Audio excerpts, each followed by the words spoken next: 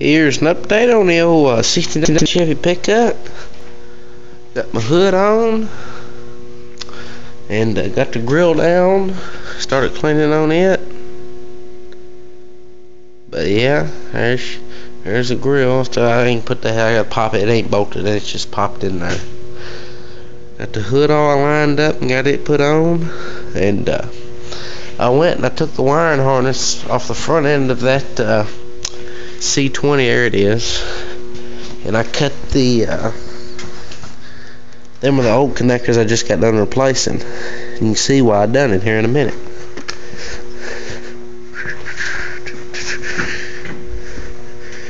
Now I have side lights which were standard on the 70s never an option on the 69s so uh, what they got is it's, a, it's an extra wire running from this you can see right there is extra brown wire coming out. This one right here has only got two wires. So I cut them and I spliced them together and wrapped, wrapped them in shrink wrap on whatever crap. But now I got marker lights. Now I still gotta work on the back ones. I ain't got them wired up yet. I gotta get up on there with the test light and test away with it. Find out which wire I got have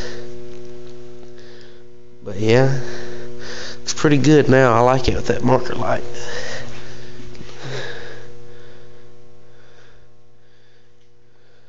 Yeah. Well, uh, and I went and got some gas for it the other day. Like I said it was, and I got it running. Let's see if I'm far up. It ain't all that cold out here. It's only about 40 degrees. It ain't real cold see what I do. Alright. Me get over in here. Oh yeah, that's what else. Oh yeah, wait a minute. Oh, I forgot I gotta plug it back up. Let's jerk the wire off.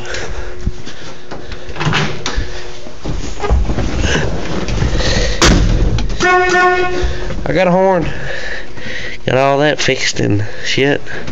I'm gonna clean that up, see if I can re-dye it green. But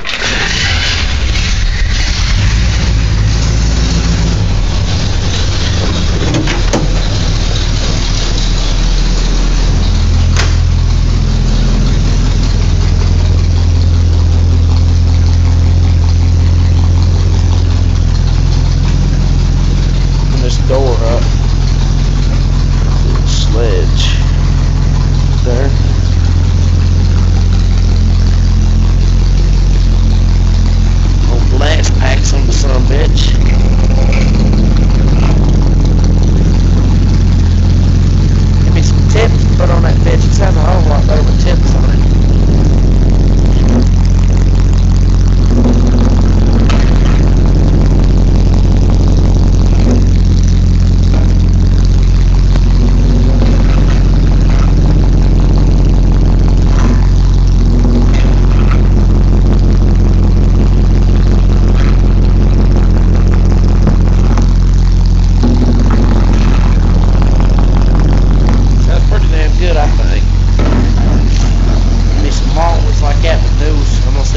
stainless so they won't rust.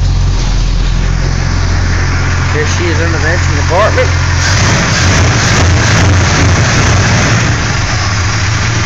Oh, shit running up on there's the. You see right there's where I had to splice them. I still gotta wrap that up back up in tape all the way down through there. I want to make sure it was gonna work before I wrapped it. Run it over to here and I grounded it.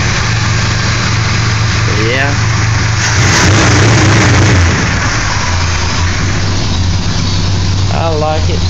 But uh, there's an update on it, and I'll talk to y'all later. Bye.